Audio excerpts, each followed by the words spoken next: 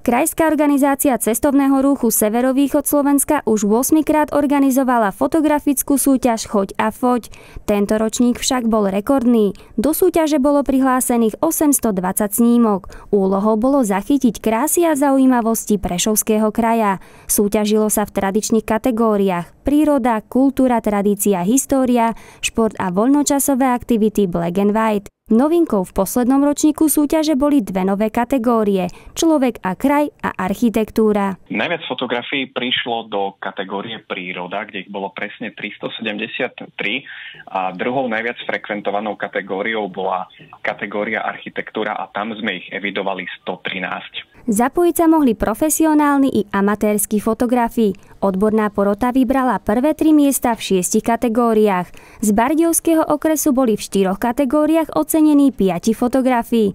V kategórii architektúra prvé miesto získal Bardiovčan Jaroslav Volanský s fotografiou Tieň.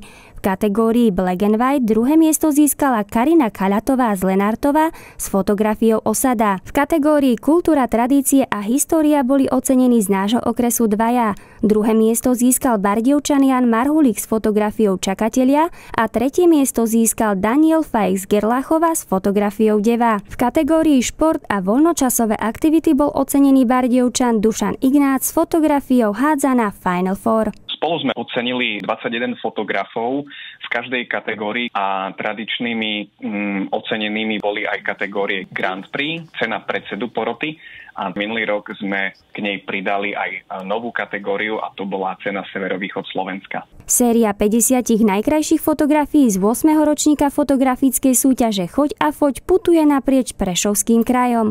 Vzhľadom na epidemickú situáciu snímky sú vystavené na dobu neurčitú v obchodnom centre Novum v Prešove. Vernisáž e, fotografií e, pripravujeme každý rok cez adventné obdobie, kedy vlastne aj výťazom odovzdávame do rúk diplomy a ceny, ktoré si od nás osobne prevezmú a hneď ako to dovolí situácia, tak sa chystáme vernisáž výstavy usporiadať práve v obchodnom centre Novum v Prešove.